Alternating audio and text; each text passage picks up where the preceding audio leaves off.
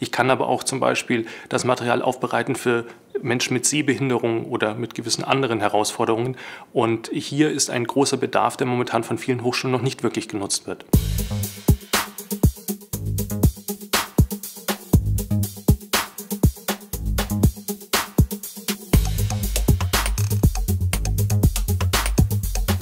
Die Digitalisierung bringt für die Lehre viele Möglichkeiten, vor allem wenn wir uns überlegen, dass es sogenannte Mantras gibt. Ich, alles, überall und so fort sind die Mantras der Digitalisierung. Das heißt, ich habe die Personalisierung, die Individualisierung und eben die Verfügbarkeit jederzeit und überall auf der Welt. Das heißt, ich kann als Lehrender meine Studierenden weltweit erreichen, auch wenn sie nicht zwingend bei mir vor Ort im Hörsaal sitzen. Die Lehre hat sich ja entwickelt, dass vor, sage ich mal, Tausenden von Jahren nur eine Person das Wissen hatte, Bücher noch sehr, sehr teuer oder gar nicht vorhanden waren und somit eben der Lehrende, der Dozent, die Dozentin durch die Landen gereist sind und eben dann das Wissen mitgebracht haben.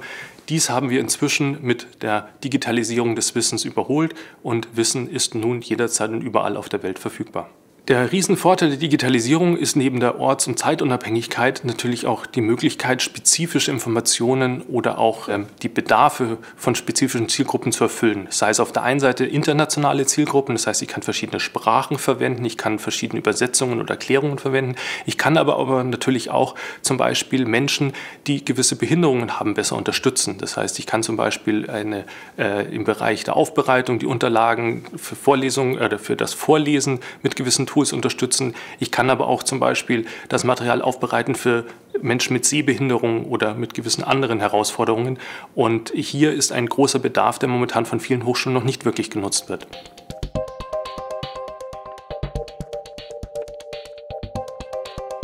In den USA und in Kanada gibt es bereits an vielen Hochschulen sogenannte Media Labs, welche sich mit dem Einsatz von digitalen Hilfsmitteln oder auch digitalen Verfahren in der Lehre beschäftigen.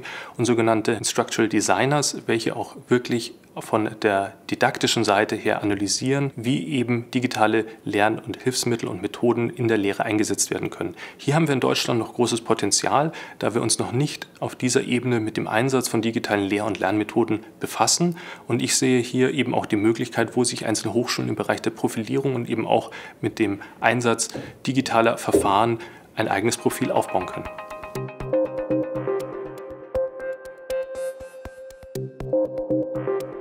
Die Herausforderungen bei der Nutzung der lernenden Daten sind natürlich die gesetzlichen Rahmenbedingungen.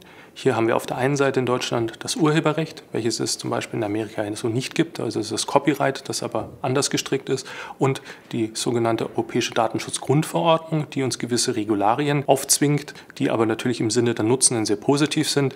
Diese Regelung gibt es zum Beispiel in Amerika auch nicht. Insgesamt muss es uns aber am Herzen liegen, dass wir die Digitalisierung positiv besetzen.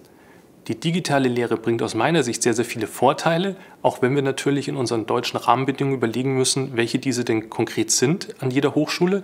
Diese können zum Beispiel sein, die ort- und zeitflexible Lehre auf der einen Seite, auf der anderen Seite dann eben auch effizientere Verfahren bei der Prüfungsbewertung, auf der anderen Seite aber eben auch die Wahrung der gesetzlichen Gegebenheiten im Sinne von Lehrdeputatserfüllung, im Sinne von Urheberrecht und eben europäischer Datenschutzgrundverordnung.